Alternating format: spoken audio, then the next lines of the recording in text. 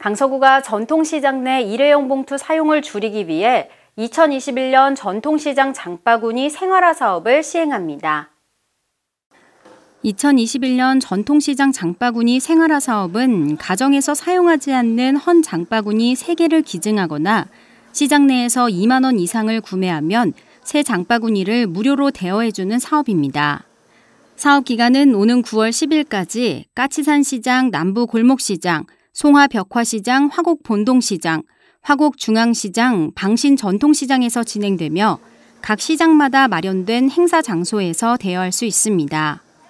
이번 전통시장 장바구니 생활화 사업을 계기로 일회용품을 줄이는 분위기가 확산되길 바랍니다. 국민들의 적극적인 참여를 당부드립니다.